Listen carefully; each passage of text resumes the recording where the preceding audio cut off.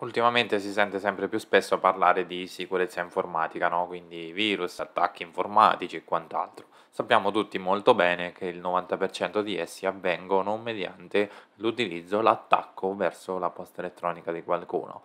Oggi vi voglio fare vedere il servizio che mette a disposizione Google, chiamato Google Workspace, prima precedentemente chiamato Google G Suite, che vi permetterà di utilizzare Gmail e tutta la suite di Google, quindi Drive, Keep, Meet e quant'altro. Ovviamente il servizio ha un costo, ci sono diversi piani di abbonamento che ora vi mostro, ma è un servizio veramente efficace. Perché? Perché ha un filtro antivirus anti-spam molto ma molto potente e quindi potrete stare abbastanza tranquilli per quello che riguarda gli attacchi di phishing, spam e quant'altro.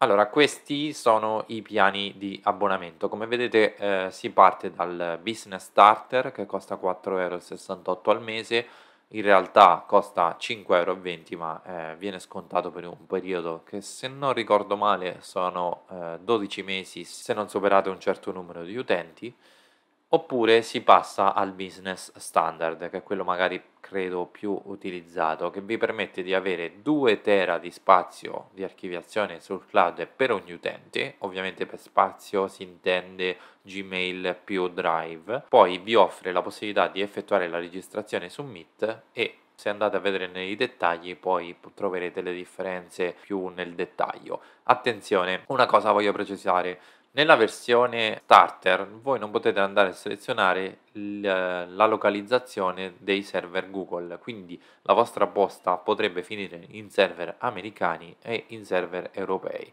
Nella versione standard potete decidere se far confluire tutta la posta su server solo europei. Questo, visto quello che sta succedendo recentemente con il garante privacy, forse potrebbe essere un problema, quindi magari informatevi prima per il vostro cliente o per voi se, la, se il servizio è per voi.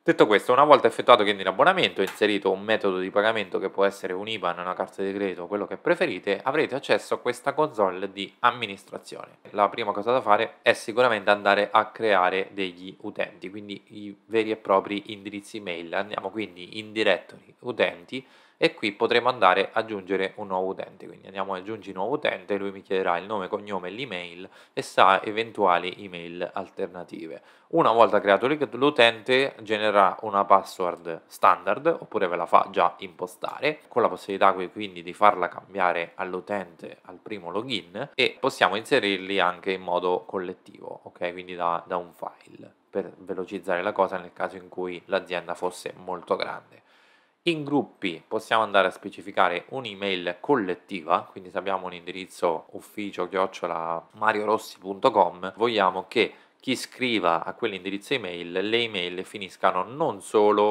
uh, ad un utente ma a più utenti. Una volta effettuata questa operazione di base, siamo pronti ad importare la posta dal nostro vecchio provider a Google Workspace. Come si fa? Abbiamo due strade. La prima è andare qui in migrazione dei dati e lui ci chiederà di configurare la migrazione dei dati utilizzando un'origine che può essere Google Workspace, Gmail, i vari exchange di diversi anni, Office 365 o un altro server IMAP, ok, che può essere un qualsiasi provider online, ma perché no anche un vostro server mail. Eh, andiamo ora metto per esempio Gmail per non stare a fare configurazioni, andiamo avanti e lui mi chiede vuoi importare solo l'ultimo anno, gli ultimi sei mesi o una data personalizzata se non volete importare tutta la posta dal vecchio operatore. Le opzioni di migrazione, quindi se volete inserire, includere anche la posta eliminata o indesiderata o se volete escludere determinate cartelle andiamo in selezione utenti, a questo punto lui vorrà avere una sorta di collegamento tra il vecchio utente e il nuovo utente, che non necessariamente deve essere uguale, nel senso, se il vecchio indirizzo era m.rossi-pincopallino.com e la nuova email vogliamo che sia mario.r-nomedominio.com noi potremo tranquillamente farlo come? Cliccando su aggiungi utente lui, ci chiede l'email di origine e l'email di Google Workspace su cui vorremmo importare i dati. Cliccando avvia lui inizierà a migrare tutta la posta elettronica. Questo è vero in parte, nel senso che questa procedura funziona se stiamo importando da un vecchio Gmail, l'operazione è abbastanza semplice. Se stiamo già importando da un server mail locale, non è proprio così scontato che vada a buon fine. Nel senso, non avete un log, o meglio ce l'avete, ma è un semplicissimo report che vi dice sì, ok, ho finito, no, non ho finito, quindi non c'è un vero e proprio log, dovrete chiedere all'assistenza, non è semplice. Esiste un programma che mette a disposizione disposizione Google che si chiama Google Workspace Migration for Microsoft Exchange e ci permette di andare a specificare, ad importare la posta da altri provider, ma anche da un server mail interno. Vedete quanti ce ne sono? Posso andare a importare da Zimbra, da altri, Dovecot, eccetera. Andiamo a selezionare per esempio Adarim App Server, come vedete mi chiede l'hostname o l'IP, perché se io ho un server mail interno potrei tranquillamente installarlo, questo software, su un computer interno alla LAN e andare a effettuare le migrazioni in maniera molto più veloce tramite un IP privato. Quindi andiamo a specificare per esempio eh, dei, dei dati, andiamo avanti, a questo punto lui ci chiederà ok, dimmi su quale dominio stai migrando i tuoi dati, quindi il nome dominio che abbiamo registrato su Google Workspace, pincopallino.com. Un utente amministrativo di Google Workspace, quindi l'utente che ha accesso alla console che vedevamo prima, e un account credential file. Cos'è questo account credential file? È un file che genererete voi dalla console mediante la quale Google Workspace identificherà la vostra utenza amministrativa.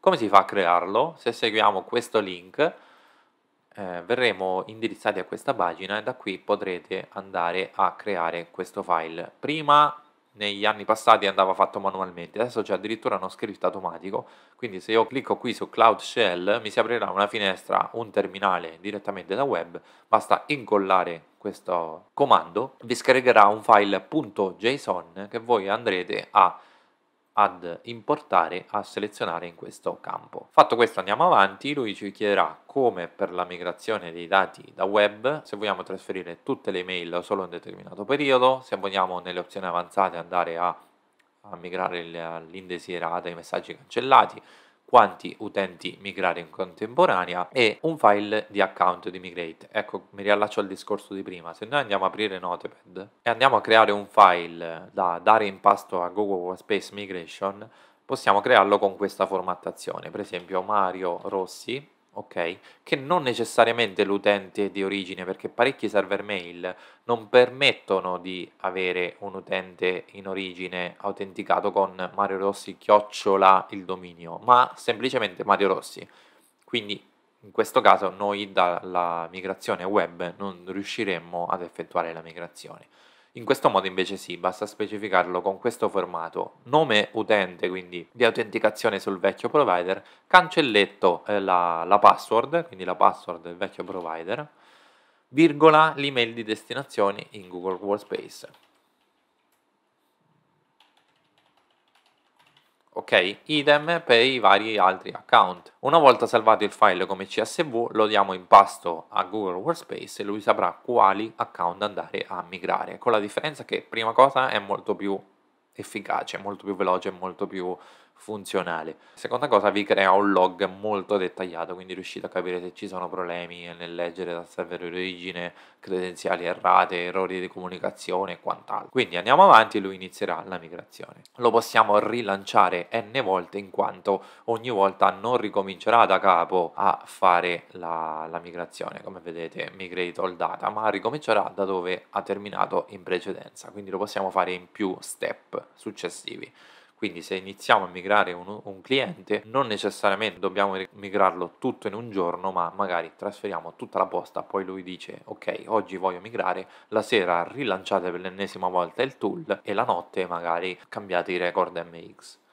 Per l'appunto, una volta terminata quindi questa procedura, dovrete andare a cambiare i record MX vostro, nel vostro provider dove avete acquistato il dominio, non necessariamente anche il eh, servizio di posta elettronica, ma dove avete registrato il dominio. Quindi se avete un dominio pincopallino.com dovrete andare nel pannello di gestione DNS del dominio e andare a puntare i record MX verso i server di Google. Se non sapete come si fa, non l'avete mai fatto, magari me lo scrivete nei commenti, ci faccio magari uno short o un video brevissimo in cui vi mostro come si fa, se vi interessa. Fatto questo, la nostra posta inizierà a essere confluita verso Google Workspace. Potrete quindi utilizzare un client di posta che può essere Thunderbird, Outlook o qualsiasi altro, oppure direttamente dalla webmail. Ma come facciamo ad andare nella webmail? In Gmail. Quindi quando andremo a cliccare Gmail, in realtà utilizzeremo Gmail ma col nostro dominio di, di posta elettronica, quindi chiocciolapincopallino.com. Nella console di amministratore avete la possibilità di andare ad esempio, vi faccio vedere alcune funzionalità che sicuramente vi serviranno, in applicazioni, Google Workspace, Gmail, potrete andare in impostazione utente e andare a eh, abilitare la conferma di lettura dei messaggi, quindi andando qui potete andare a consentire l'invio di conferme di lettura da tutti gli utenti o solo da parte di, di essi specificandoli in questo campo. Perché di default non permette l'invio della conferma di lettura, io sto parlando ovviamente dal, dalla webmail, eh, quindi da Gmail, dal client Gmail web quindi da qui la potete andare ad abilitare. Nella sezione sicurezza potete andare a forzare l'OTP, quindi la verifica in due passaggi nei vari account, potete andare a consentire o meno le app meno sicure, eccetera, eccetera. Nella sezione regole invece potrete andare a definire come l'amministratore di sistema dovrà essere notificato di eventuali eventi, quindi c'è un phishing segnalato, è stata modificata una password, un utente sospetto ha inviato spam, eccetera, eccetera, vi arriverà un'email in cui avrete questo evento. Ad esempio, viene ricevuto un malware sulla posta elettronica, l'amministratore viene notificato di questo evento. Nel, nella console avrete migliaia di report eh, di come vengono utilizzate le caselle, di, le email inviate, lo spam, eh, cioè in generale c'è parecchia roba è molto molto intuitivo, quindi inutile che vi sto a spiegare nel, nel dettaglio. Su fatturazione avrete la possibilità di effettuare l'upgrade o il downgrade dell'account, cambiare il metodo di pagamento e visionare le, le fatture. Come vi dicevo prima, Google Workspace è un servizio molto ma molto efficace, ve lo consiglio assolutamente. Il costo non è poi così proibitivo se avete 5-6 account, parliamo di 25 euro al mese di servizio di posta. Ok, molto più costoso rispetto ad avere un provider che posso, può essere, che ne so, Aruba che con 30 euro l'anno avete il servizio, sì, ma non vi dà nulla praticamente eh, vi consiglio comunque di abbinarlo ovviamente a una protezione antivirus, anche se quella integrata in Google Workspace è fenomenale.